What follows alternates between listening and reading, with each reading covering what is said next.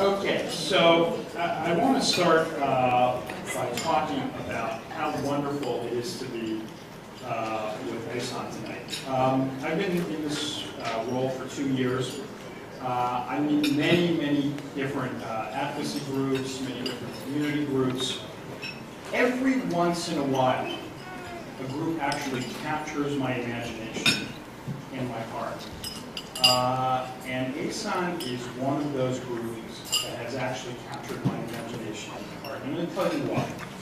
Uh, the groups that actually do that to me are those groups that are of the people they speak for, for the people they speak for, and by the people they speak for. Uh, and you all uh, deserve very much uh, an applause uh, for being that uh, for this community. So I am really, really proud uh, to be here tonight with you. Um, what I'd like to do uh, over the next few minutes uh, is to talk to you a little bit about why we, uh, what we do, uh, and where our opportunities are for partnership. Um, the real heroes, by the way, are not up here, but are actually in this room. People like Henry are the real heroes who are really working to make a real difference uh, for autistic people uh, in, in, the United States today. Uh, but I want to talk to you about where we have an opportunity uh, to be partners, where we have an opportunity uh, to make a difference uh, for the autistic community. Um, I bring you greetings tonight on behalf of Secretary Sebelius and the entire department. I reviewed the ASAN website very carefully before I came here tonight, and I was struck and how much uh, of what ASAN considers priorities with respect to, to healthcare track exactly the priorities uh, of our office. So we do two big things.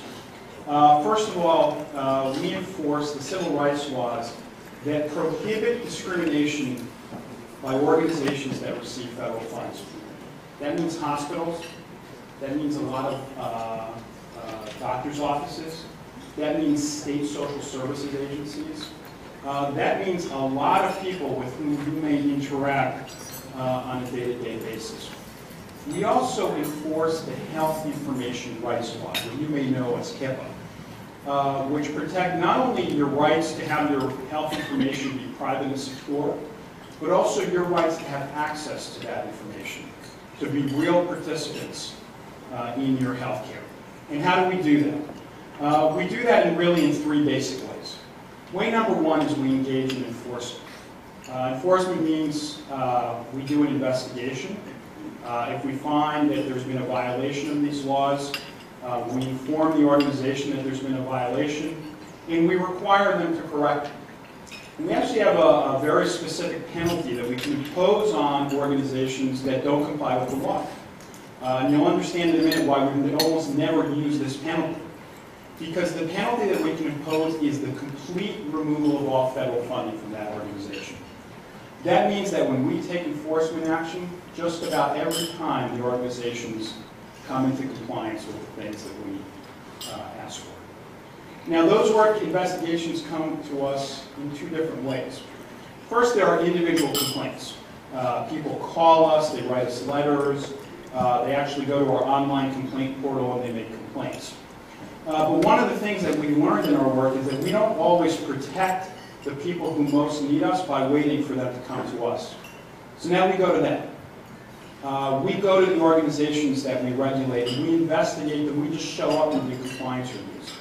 We need to be in touch with organizations like yours for us to tell us where we need to be looking, where the problems are, what issues we need to be focusing on, what organizations we need to be focusing on. The second big thing we do is develop policy. We develop guidances uh, on all kinds of issues, community living, uh, uh, protection of persons with disabilities, privacy. Uh, we also do regulations. Right now we're working on a very significant regulation, uh, an anti-discrimination re regulation that sits in the Affordable Care Act. One of the most transformative civil rights laws is sitting right in the heart of the Affordable Care Act which for the first time, among other things, requires those health information exchanges not to discriminate based on gender, based on disability, based on race and national origin. Uh, So we're working to develop regulations. We're already enforcing that law, even without the regulations. And then the final thing that we do is what we're doing right now, and that's education and knowledge. Uh, And those of you who know us well know that it's true that we will go anywhere and do just about anything to make sure that people learn what we're all about. Uh, We have offices in 12 different cities uh, throughout the United States. We've empowered all of our staff to engage in outreach work. So just about anywhere where you would like one of our folks to come out and talk, come out and explain what we do, uh, those opportunities exist. So what does that mean in terms of uh, actual uh, priorities? Well, one of the things uh, is our focus on community living and Olmstead. Now, Olmstead needs to be understood as much more than uh, making sure that people who don't want to be in institutions don't need to be in institutions, aren't in institutions. That's sort of the first step along the of the ladder. What Olmstead really means is that the ultimate goal is that if you are a person with a disability, you can live in the community just like anybody else. You can work, you can go to school, you can go to church, you can have the same life that everybody else with whatever supports and services that you need. Uh, so one of the uh, issues that we work on in collaboration with uh, the Department of Justice Civil Rights Division, with the Department of Labor, with the Department of Housing and Urban Development is making sure uh, that those rights are really giving meaning. Uh, and so part of what we do there is the enforcement work uh, about which uh, we talked before, but we're also really working on education. We're also working on data gathering because very often uh, it's not necessarily the case where we need to go in and actually do an investigation and enforcement, but instead to gather data that exposes where the problems are uh, that actually identifies who's doing well on these issues, who's not doing so. Um, the second issue uh, upon uh, which we've been focusing uh, is the idea of full autonomy and participation uh, in healthcare decision making. Uh, and so, as you well know, there has been way too long a history uh, of autistic communities not being able to be full participants in their, in their healthcare, and very often being discriminated against in the healthcare uh, system without basis based on your status. Uh, so Ari Ne'eman, one of your wonderful leaders, and I have had a lot of discussions recently, for example, about the issue of organ transplantation. Uh, and about those instances in which decisions about organ transplantation uh, are being made in a discriminatory manner. Uh, in, a, in a manner that, in fact, often denies life-giving therapy uh, to people who both need it and will be able to, to fully utilize it and have, wonderful lives if they, yeah, if they had it. So we're focusing on that issue uh, along with art, but it means much more. Uh, it means much more than organ transplantation. It's looking at all kinds uh, of issues about how hospitals make decisions, how physicians make decisions, how people are treated, what autonomy they're given uh, in the healthcare setting. And so when I talk about ordinating you, is we need to know where those issues are.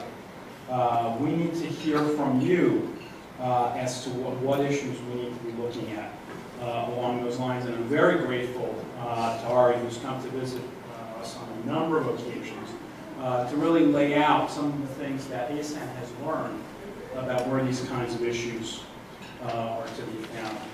And then finally, I mentioned that we enforce the privacy laws. And uh, uh, privacy laws really mean, as I said before, they are health information rights laws.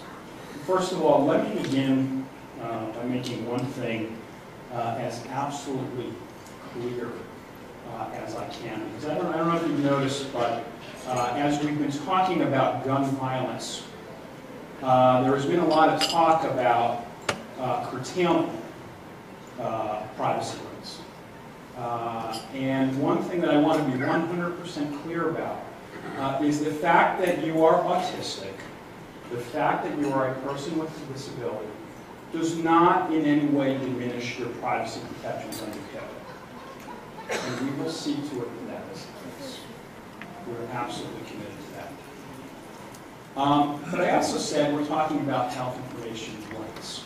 So it's not just the privacy of your information, you're being able to control who sees your health information when, uh, when but it's also your access uh, to that information. We've actually uh, launched a campaign called Information is Powerful Medicine.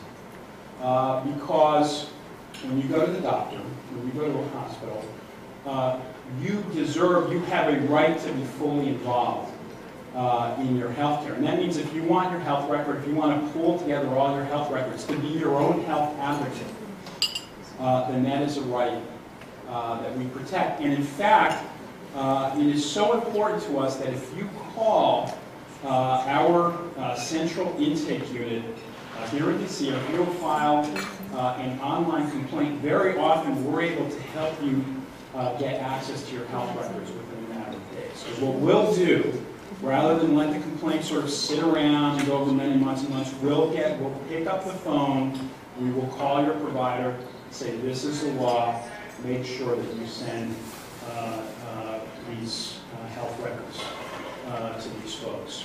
Now we've had uh, many uh, wonderful opportunities for collaboration with so many people. One of the things that I'm really proud of, I want to introduce uh, Robinsue Frohboese, our Civil Rights Director.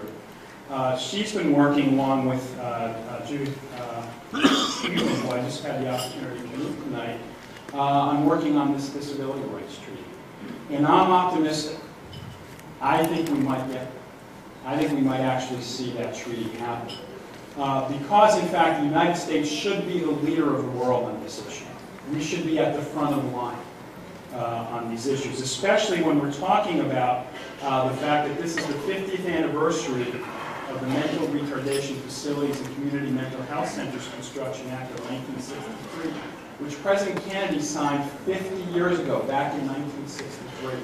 So the fact that we're still talking about community living as a goal 50 years later really tells you how much work is still ahead of us. Really tells you how much say. Uh, but I'm really proud to have the kind of partners uh, that I have here tonight. Uh, I'm proud of the fact uh, that we're going to be doing this together. I'm proud of the fact that Henry is part of the next generation of leaders after people like me get old and tired.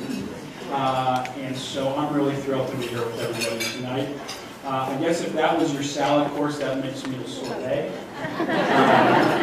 So thank you and enjoy the rest of your evening.